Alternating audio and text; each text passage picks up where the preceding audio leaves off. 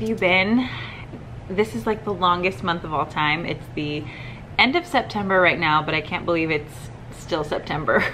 it's been kind of hard to make like teaching content right now just because I don't feel like a very good teacher, to be honest. It seems like whatever I try just still doesn't work, like behavior wise and just like planning wise and timing wise and everything. I mean, things are going okay, but I don't know. They are getting better, but actually that's the opposite of the video I wanted to make. I, I wanted to challenge myself to do a video just talking about the things that are going well. I think I need this. I need a bit of like a mind mindset shift. At the moment, I just, you know, I don't feel like a good teacher. I don't feel like a good coworker. I don't feel like a good mom. I don't feel like a good wife. I don't feel like a good friend. Like, I just feel like kind of failing at everything. And so just maybe for my own mental state and maybe as like a reminder to you guys, um, I just wanted to force myself to think about some things that are going well and share those with you guys. I did get this really cute little mug. I just ordered this for myself. this is the cover of my first book that came out over the summer.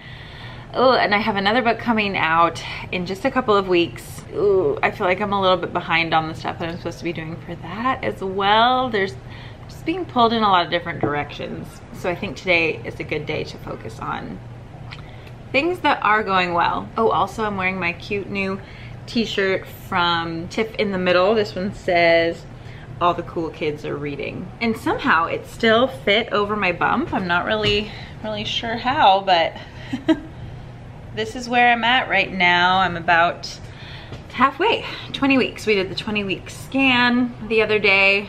That was fine. You're supposed to well, I don't know, the doctor that I had was trying to get like a cute picture of the face and everything, but the baby was like, no pictures please, no paparazzi. And we couldn't get a good picture and I needed to go pick up Jensen and I had just like fought traffic right after school to go get to the appointment and then had to like fight traffic back the other way to go pick up Jensen on time. So I was like, it's fine. like, as long as the baby's healthy, that's all that matters. So it's okay. So I didn't get like a cute little picture, but whatever. Most moms throughout history never got to see inside their belly. It's really weird that we can even do that. Pretty cool though. It's very reassuring also to like see that everything's going well. Anyways, the first thing that I wanted to talk about is our media literacy unit with my seventh grade English students. And at the beginning of the summer, you can see on my YouTube channel, I started like researching different online resources for teaching uh, media literacy and kind of like digital citizenship and stuff like that. So one of the activities that we did, we've done a lot. I'll, I'll go over it a little bit more with you in a minute, but one thing that we did is we're just, I'm trying to use like real world examples and just look at like sources that are trustworthy and even like in our own communication, like how can we come across as more trustworthy? So I was like, here, you guys can look at my email. So with my Too Cool for Middle School email, I get lots and lots of emails every day and it's a bummer because there are so many that are just like, I don't know, they're just kind of scammy. They don't seem legit at all.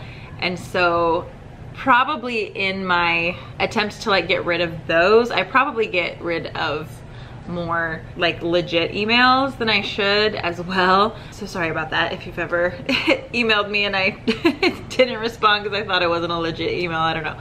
Uh, so I had my students like look at a few emails that were you know like a proposition type of a thing like here's our company and you know we want you to do this for us sometimes people email me and there's no like without a picture or a logo or something in the little profile, that already lowers my trust.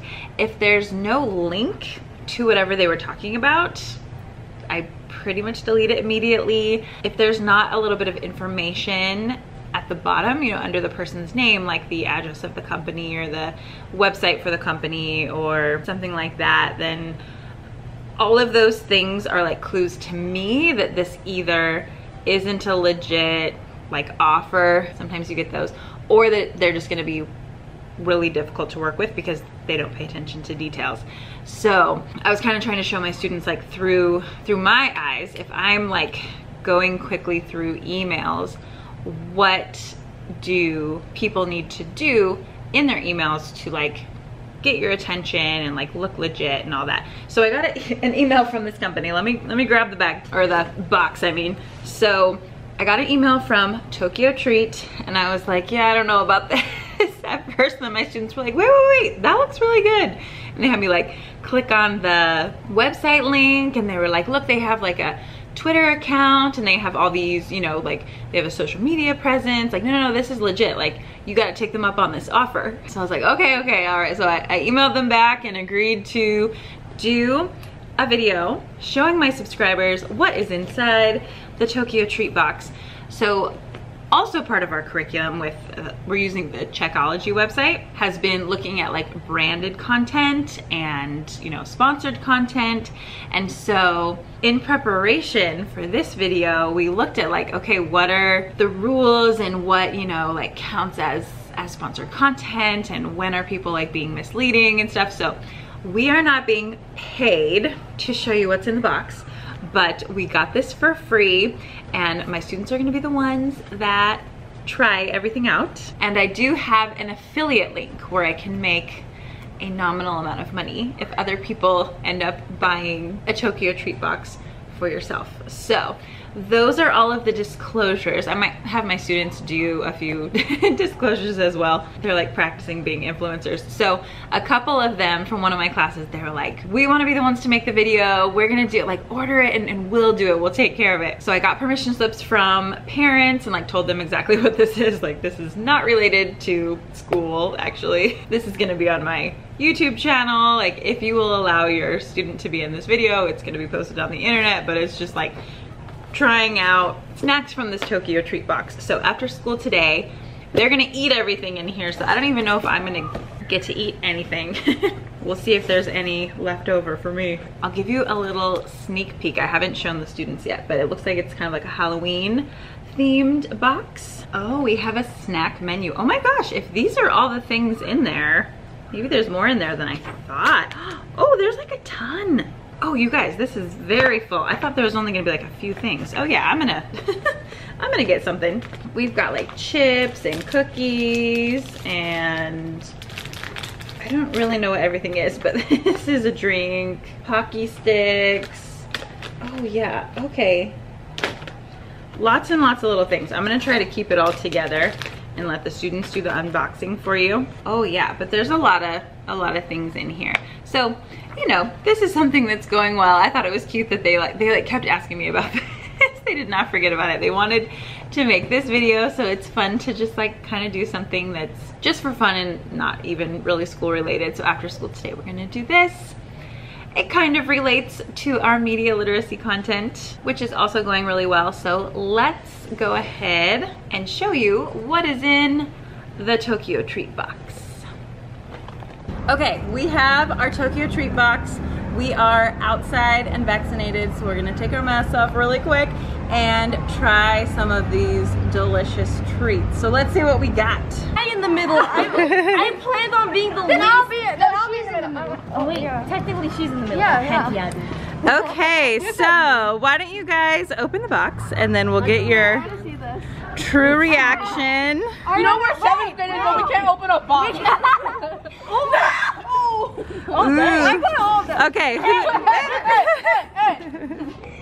okay, who's gonna try something first? Me. It's a beautiful young man. Lovely. Beautiful young man. Okay, man. so now Thank you. try it and tell us how it tastes. I claim the subject. First, I have to rip it. No, no. Finish it. I took that. I should have took that. It's mine. I claimed this. Yeah, claim something while they're Oh going. my god, how do you open Okay. it? I'm a seventh grader. and I claim something. Come on, can you? Oh my god, wait, no. try some? So this is how it looks. Red Don't want to hear crumbs. Red crumbs. Okay, taste it for us. Tell us how it is. Oh, it's like crackers. That's good. Oh, nice, nice. Anyone else have something open yet? Foggy stitch. much. What flavor are these? It's oh this. Oh my What god. What flavor are they? Grape flavor soda. Is it like strawberry? Yeah, strawberry. Ooh, nice. that- Ooh. Doesn't taste like strawberry, but it's oh, good. No! Oh, grape soda. It betrayed me. I got Can I just karma. try some? Like, I got karma. How, how do you want to try it? try it. How do we do this? Oh, okay. Actually good. Right? Mm. Whoa, she turned nuts! How is it? How is it? Fizzy. Ooh, come on, what did you try?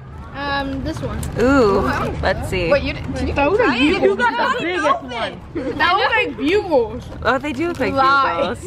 All right, is this what you're trying?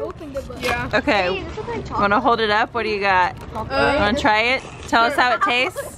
Come on, how does yours taste? What do you think? Oh shoot, I'm taking Eat your medicine, children. I got this, mm-hmm. gut. There is a treat in here that looks like medicine. Oh, weird. Eat your medicine. I want to try it. Can I? Yeah. It tastes like cheese. How's this one? Wait, that's so good. Okay. Barbecue. Barbecue. That's, that's what I'm here good? for. Oh, I want this. I want this. Oh my! I think. Can I try this? Yeah. I'll try this one. It's What flavor Kit Kat is it? Oh, apple cinnamon? Cheetos. Ooh, can I have one of those too? Wait, what is this? This is very chaotic. How do you open it? Oh, I wow. took it for the I'm about to team this one, okay, guys? I did not expect that. What is Ooh. I, uh, I hope it's chocolate. Okay. Whoever Wait, is listening to this, the inside. so this is like a Cheeto. Oh, like a giant Cheeto? Yeah, it's Oh, so weird. good. I got this. Ooh, those look oh, like they're gonna be spicy. Tokyo treats. I I got took it for the team, You're right, guys. it was chocolate. Ooh. Oh, I opened it. Okay, I want to share these with you because those look good. I took one These- for the team. I grabbed the really small one, obviously. Alright. Now this is Oh, shoot, her turn. Can I see this? Ooh, one for me. Two for me. Apple cinnamon Kit Kats. I'm gonna hold my Ooh. Cinnamon. I really like this. It's chocolate. Ooh, that does look This is good. like so like cheesy. Yeah. Anything else we haven't tried? We have a lot here. We have a Who's gonna, who's gonna be the brave Oh my one and God. take this one? Is it good? Oh, this looks It's interesting. like, it tastes like a we candle. both can have it. Wait. A candle? This is for, for this, I think Ooh. we need like experiment. It's like no, this is Oh, there's No. instructions. No, Oh. Gosh, this is like literal. Don't don't be fooled. This is not medicine, okay? I hope not. Oh, Here's our, science experiment. let's see, oh, here's our Kit Kat. What else is in here? That's it. You You're told my him? favorite You teacher. snitch. I should have told Miss Rector. She's well. Uh, Can I What do are the these? He supports me Yes. very Oh, it's like licorice, I think. oh my Do Do you want to catch it mixing? Okay, get this Wait. off. Oh, yeah. Get this off. Miss Oh, Ford, do you want anything? it's oh my god, so we have the primary colors. It's so sticky. Hey, wait, kinda- how are you supposed to have that though? Is that edible? Wait, are you supposed to have that with the? I can This tastes like milk. Milk? Milk. Come on. Milk? Give me some milk. Can I have Let that? me up. Give me some. Give, me me the the milk. If you don't see me tomorrow, you'll know it. Oh my god. I was right. That's It's very sweet. Thank, thank Miss Ford. Actually, thank us because we're the ones that helped her. Very true, very true. We wouldn't have all this without you guys. I'm the main reason. You guys have to try this. It's Halloween now, apparently. I know, all the Halloween treats. This is great. Oh yeah, I just noticed Halloween themed. If you would like to have your own box of Tokyo treats, please use the link below. Woo! If you want uh, your own uh, Tokyo treats, then use the link below and get one, uh, one for you. Boil. If you want your own Tokyo treats, use the link below because we obviously love them very much.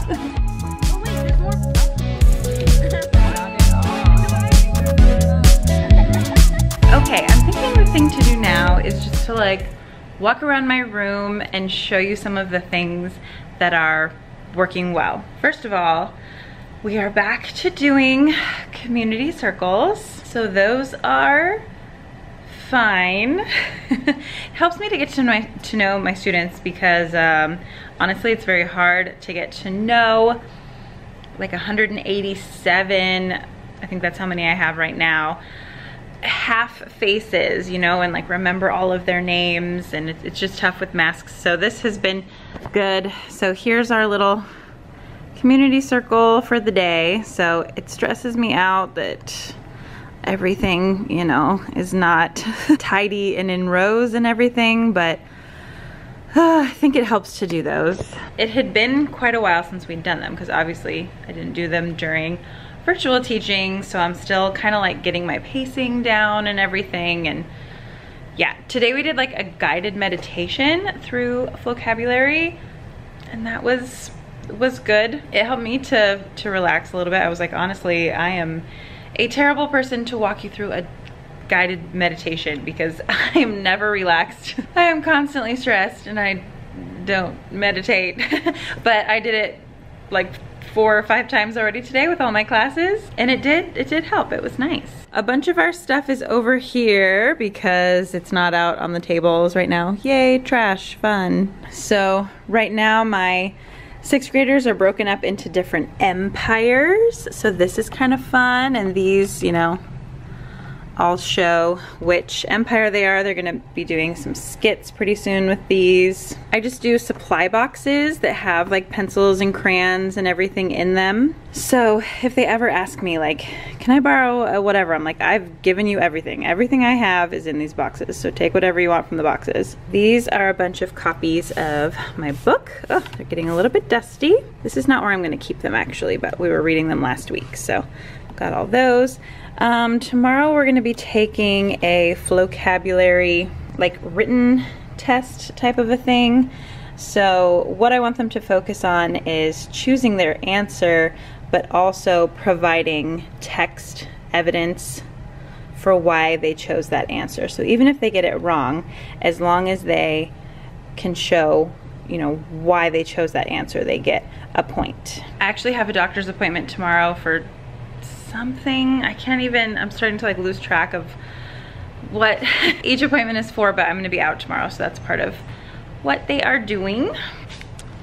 Gotta take care of this little one in here. So a um, couple other things that we're doing. These are the notes that we've been taking. These are from History from the Middle. And these are doodle notes. So they have, uh, you know, little like visual clues about what we're writing about. They have maps and they're just fill in the blank. So my students are much lower than usual this year, so these have been pretty helpful. Right now they're actually working on skits. It's like a charades game for Hammurabi's Code. So they're choosing one law from Hammurabi's Code. They're gonna make a skit about it, but you know, they can't say which law it actually is. And then they put that on Flipgrid. And then on Monday, we watch all the videos and we have to guess and see, you know, which law it is. So this was one of those activities that we did virtually last year and it went really well. And so now I'm kind of keeping that virtual aspect where they make it on Flipgrid because their face doesn't necessarily have to be in it. They could um, use stuffed animals or they could use some kind of an animation software or whatever. So we're kind of in the middle of that right now. And if they win, we, we like vote on which skit was the best per period. And so then the prize is one of these stickers. I made these last year. These go with the vocabulary Fertile Crescent video. I keep it quick like a turtle's breakfast. None of us knows what that means, but that's like the the line that always gets stuck in our head. So these are the prizes. So I just have those out for motivation.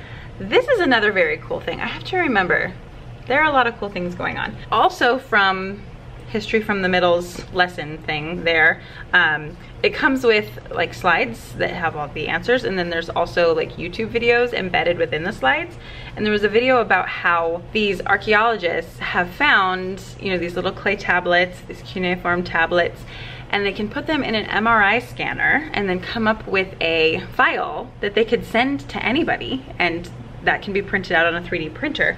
So I found some files of cuneiform tablets. I don't know how realistic they are, how like uh, authentic they are, but I got some and we have a 3D printer in our science lab. So the science teacher printed these for us. So these are, I think these are like maybe double sized or triple and then printed another one that looks like a giant block of butter, but it's really cool to have these little cuneiform tablets. And one of my students even has a 3D printer at home and he printed this little one for us. I think this is maybe more the actual size. I don't know. So I've got three of those now. I mean, that's pretty cool. Kind of dark right here in the classroom. What else are we doing? Um, oh yeah, these posters I think are from Student Savvy, but just nice to have like a little sort of summary of what we are doing at the moment.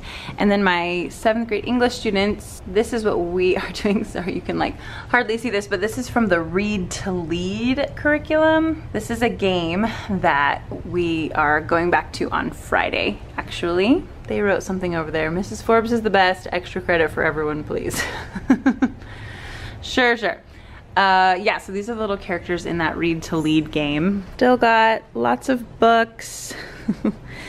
um, we do like a monthly reading theme, and I'm just starting to put them over here. So this is September's Hispanic, Latine, Latinx uh, Heritage Month.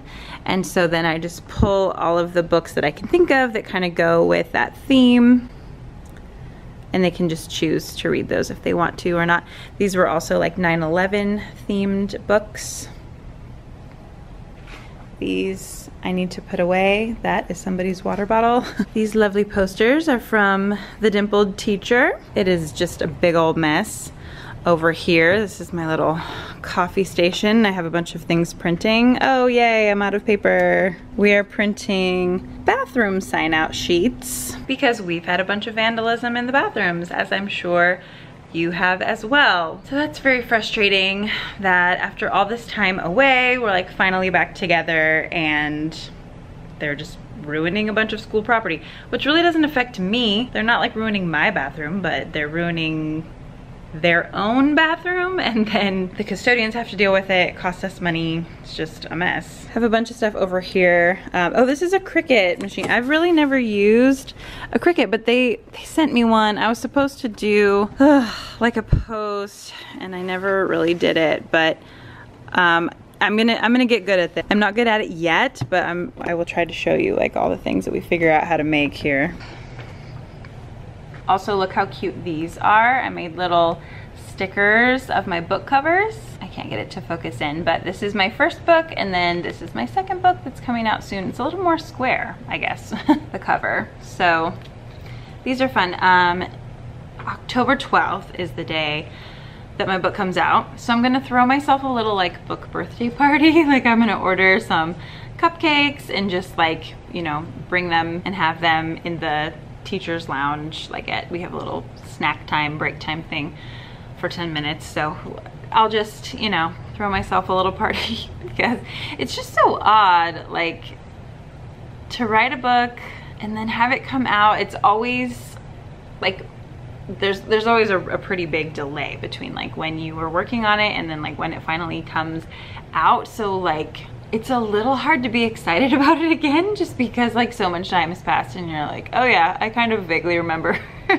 writing this book. And then like, no one else, no one else in my real life really cares. I mean, they do, like they're excited, but I don't know. It's not like I wrote like a story, like a, like a fictional novel that's gonna be like a bestseller and I could quit my job and just like be a reclusive novelist.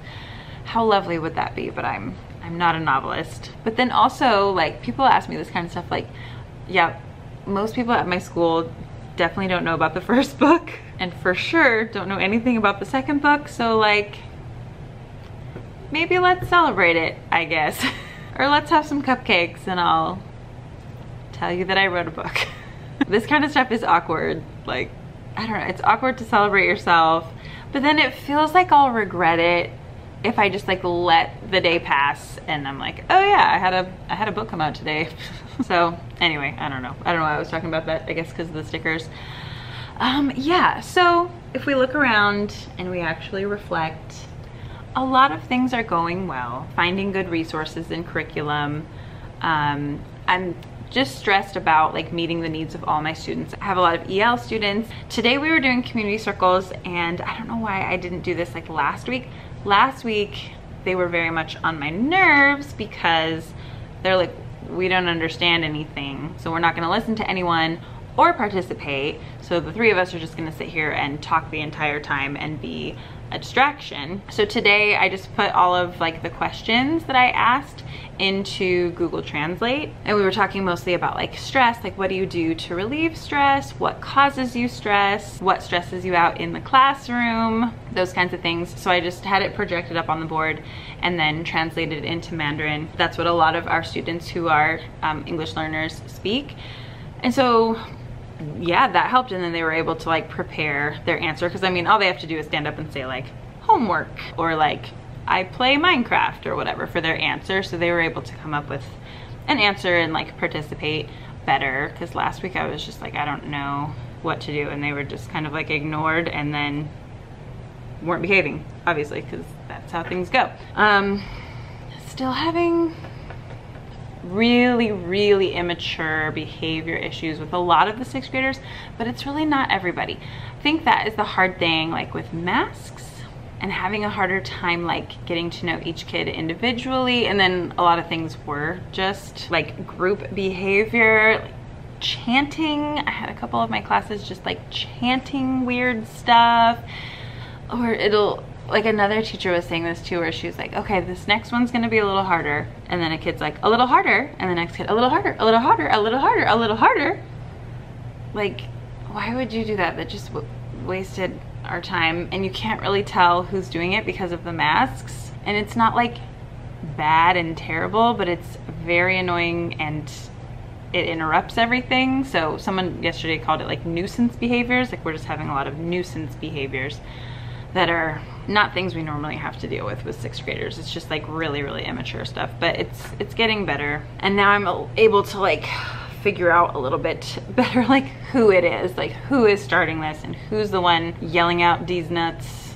like it's 2018 or something. Like you guys missed that train. I'm sorry you were in elementary school for that, but we are not doing it now. We're not bringing it back. We're not reviving it. So yeah, you know, now there's uh, it's a little easier to do more like targeted emails home to the students who are being a disruption and try to kind of like handle things more on an individual basis rather than just be like overwhelmed by the hundreds of sixth graders in general. So it's getting better. I'm I'm glad that we talked about like de-stressing today a little bit because yeah, for me like reading helps to lower my stress but then usually the second I sit down then Jensen needs something but like music helps I really like a lot of Ingrid Michaelson's songs for de-stressing I have Be Okay stuck in my head today and Keep Breathing both of those are really good I'm so tired so it's hard to do like yoga and the Peloton and stuff even though it's definitely what I should be doing I need to stay healthy for myself and for the baby and I know that's really important. It's just uh, very hard to like pull that energy out of nowhere. like I just, I just don't have it, but I'm trying. So yeah, I've definitely been very like testy lately. I have very little patience. I mean, part of it is like pregnancy hormones, I think, but also just like this year is just so frustrating. And then I'm also just like not used to being around people so much because last year we were just home all the time. I think I'm not a very good listener in like staff meetings and stuff. Things like get to me easily. Uh, so anyway, that that's why I'm just kind of like a little, you know, disappointed in myself too because I, I just know that I haven't been very patient with people or myself. So thank you for going on this little like mini room tour with me and reminding me that there are a lot of things that are going well. I love our John Green videos, the navigating digital information playlist, and I have um, these notes that go with those, and I have those on my Teachers Pay Teachers. That has been excellent. Tomorrow they're wrapping those up. Today we wrapped up Checkology, so our first unit on like media literacy has been really good. So I'm gonna go let in my final class of the day. I feel like I'm in a better mood for them, so that's good. Uh, cross your fingers this goes well. Okay,